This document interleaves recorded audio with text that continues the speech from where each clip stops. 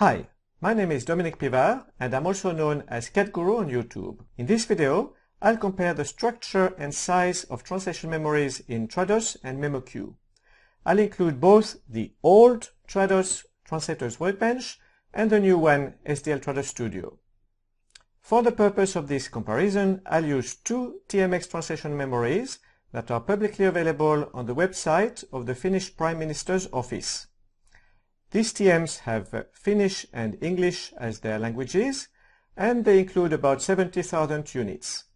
Their size is 48 megabytes in total, and they will act as our benchmark when it comes to TM size.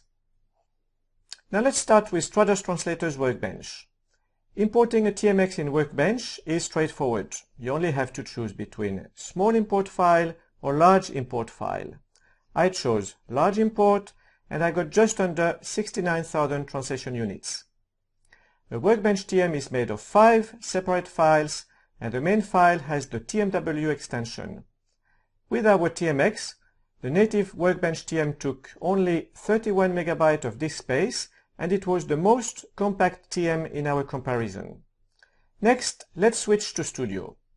When creating a TM in Studio, there's a setting labeled Enable Character-Based Concordance Search. If you leave it unticked, you will get a TM optimized for word-based concordance search, and if you tick it, the TM will be optimized for character-based concordance search.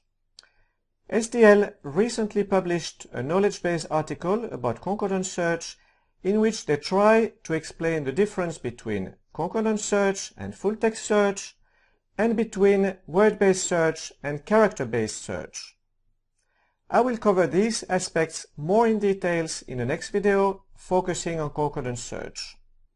A Studio TM is a single file with the SDL TM extension and the size of the TM varies according to the setting we just mentioned. With our TMX, the Studio TM optimized for word-based search took 83 megabytes, while the TM optimized for character-based search took 139 megabytes. Next, let's have a look at MemoQ. When creating a TM in MemoQ, you have to decide whether you want it to be optimized for more fuzzy hits, which is the default, or for faster lookup. You can also go for middle of the road by putting the cursor in between these two settings. A MemoQ TM is made of 20 separate files that are stored in their own folder.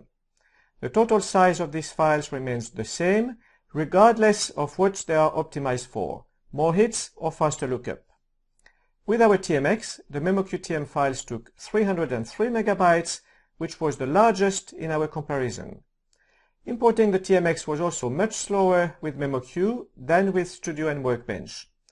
On the other hand, we will see in the next video that concordance search is much faster and much better in MemoQ than in Studio and Workbench. Thank you for watching. Be sure to subscribe for more similar content aimed at translators and see you in the next video.